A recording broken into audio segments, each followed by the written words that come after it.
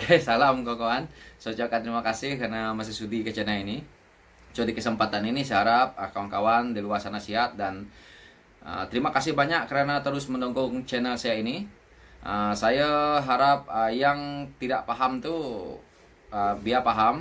Saya ini channel pribadi bukannya channel politik yang menyokong satu pihak, tetapi saya berhak untuk menyokong satu pihak karena ini channel pribadi. Oke? Okay? Dan saya minta maaf lah di situ.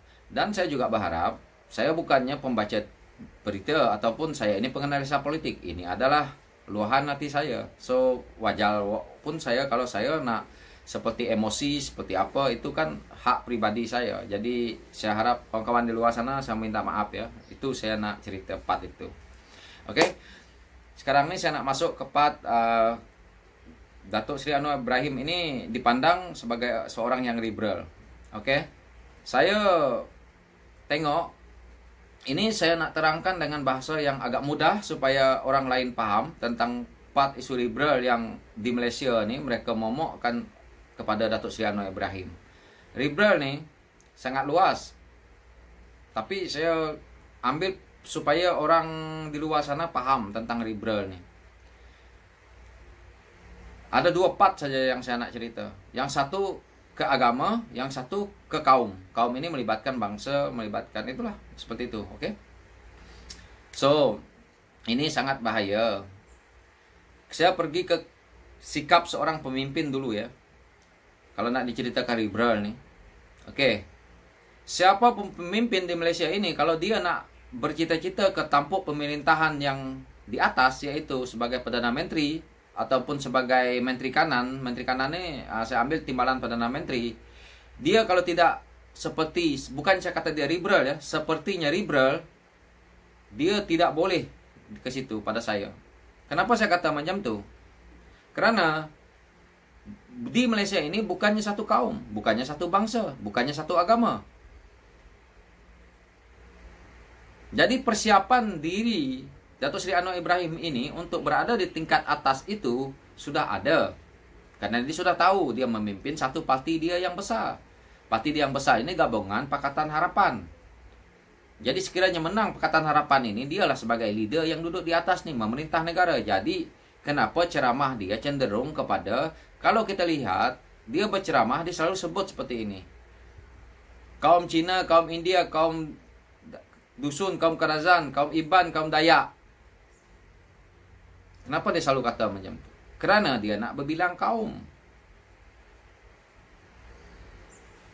Itu yang bagus. Dan salah satu itu kuncinya ceramah dia yang bagus dan yang ada pada pimpinan dia. Isu-isu lain, kita nak jual dia uh, bersekongkol dengan orang ini, bersekongkol dengan orang ini.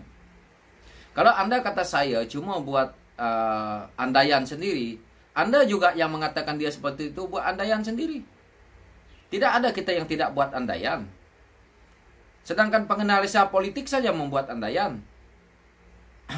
Dia buat andaian daripada buku-buku rujukan dia. Begitu juga dengan orang-orang lain. Hidup manusia ini penuh dengan andaian semua. Termasuklah ahli politik, termasuklah orang yang bijaksana. Jadi seperti itu. Walaupun kita sebagai seorang yang hebat, tetap juga baca buku daripada buku yang kita baca itu yang kita buat pentafsiran pentafsiran yang kita sendiri pikir seperti ini seperti ini. Nah itu tak payahlah saya tidak ada sekolah so saya tidak mau bahas ke situ. Oke kita pergi ke part balik tentang liberal nih tadi supaya orang tua ataupun orang-orang yang tidak paham liberal nih. Pemimpin itu yang mengatakan dia liberal kalau mereka nak jadi seorang pemimpin kalau tidak pergi ke macam arah-arah liberal ini di Malaysia ini. Pada saya dia tidak layak nak memimpin. Pemimpin di Malaysia ini harus jangan satu kaum. Tapi apa yang mereka mau hari ini daripada sebelah pihak sana, mereka beranggapan nak satu kaum. Kalau Anda nak buat satu kaum, silakan. Saya tidak mau cerita tentang hal negeri-negeri nanti.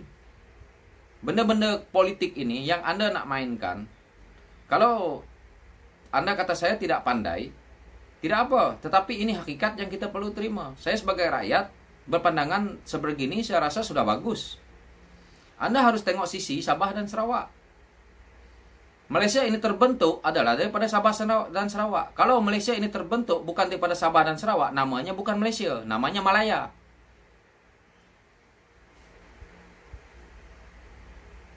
Ini untuk generasi baru ya, yang belum-belum uh, nak paham. Uh. MA63 itu perjanjian Malaysia uh, Malaysia Agreement 6 tahun 1963 itu termaktub tau. Kesalahan yang Malaysia akan lakukan kepada Sabah Sarawak boleh mengeluarkan Sabah dan Sarawak. Ini bahasa kasar yang boleh saya nak terangkan. Jadi jangan nak kata begitu begini.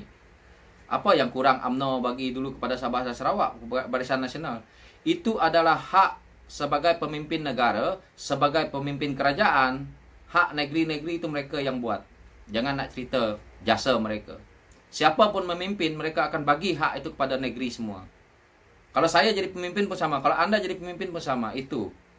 Kenapa kadang saya emosi bila cerita hal ini? Karena banyak yang tidak tahu. Nah, jangan tengok pada mimik muka saya sebagai orang muda, saya tak layak nak berkata begini. Siapa pun di Malaysia ini harus uh, tidak kira umur, selagi dia sudah layak uh, mengundi, dia sudah layak ke politik. Itu part yang kita harus tahu. Dan dia layak sudah memikirkan soal politik negara dan dia karena buat apa dia mengundi. Kalau orang yang tahu mengundi, dia dah tahulah politik. Tidak tahu banyak, harus tahu sedikit. Adakah saya nak pergi buang undi, saya tidak tahu ni siapa yang saya nak undi. Pemikiran rakyat nak diubah tetapi tidak ubah dengan uh, bila rakyat ada bijak sedikit nak bodohkan rakyat itu saya tidak suka. Dan orang-orang yang masih di bawah tempurung punya pemikiran harus berubahlah. Dan saya kata ulang-ulang, ini bukan tahun 60-an lagi, bukan TV and white, black and white lagi. Gitu. Jadi saya patah balik ke pemimpin lagi uh, tentang uh, isu yang Datuk Seri Anwar ni selalu dimainkan tentang uh, dia liberal ni, uh, itulah sepertinya. Jadi liberal itu sangat luas. Yang saya nak ambilkan liberal yang sedang mereka mainkan ini adalah isu agama dan perkauman. Ini sangat berbahaya. Jadi Datuk Seri Anwar Ibrahim tu itulah kenapa dia dilihat sebagai seorang liberal.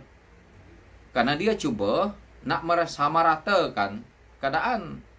Dia tidak meratakan maksudnya begini, nanti salah paham lagi di situ. Seba, seba, sebenarnya gini, mungkin dia nak 60 Melayu, 40 kaum-kaum lain. Itu sudah bagus. Orang kaum-kaum lain boleh terima. Takkan kaum-kaum lain dibagi 20 uh, Melayu 80. Yang Sabah Sarawak mesti terasa. Itu saya kata MA63 itu yang Sabah Sarawak akan petikaikan. Kalau orang Sabah Sarawak yang memang ada nih pemikiran. Kerana Sabah dan Sarawak ini masuk Malaysia bukan kerana dia nak suka-suka. Perjanjian itulah yang kita ikutkan. Bila tidak ada perjanjian MA 63 ni tadi, namanya Malaya. Bukan namanya Malaysia. Bila nak jadikan namanya Malaysia, kena ambil tahu nih Sabah dan Sarawak Nah, ini nanti saya buat part lain lah. Saya tak mau cerita ke situ. Oke, saya nak habiskan tentang liberal itu saja. Oke, saya harap uh, kawan-kawan uh, paham sedikit tentang hal liberal itu ya. Itulah karena dia akan masuk ke Sabah Sarawak itu tadi. Karena liberal ini sangat luas. Datuk Sri Anwar Ibrahim ini dia paham tuh tentang mungkin perjanjian Malaysia ini pun Datuk Sri Anwar Ibrahim lebih paham daripada pemimpin-pemimpin sebelah sana. Justru itu dia coba untuk tidak mempolak perandakan Malaysia ini itu yang saya nampak di situ. Kepemimpinan dia ada di situ. So saya ucapkan terima kasih kepada kawan-kawan yang mungkin uh, apa yang saya gunakan ini tidak berapa Anda paham juga, tapi saya minta maaf di situ dan saya harap Anda coba memahami lah apa yang saya maksudkan. Oke, okay, so sekian dari saya. Saya ucapkan terima kasih karena sudah datang ke channel ini. Oke, okay, sekian dulu ya. Oke, okay, salam.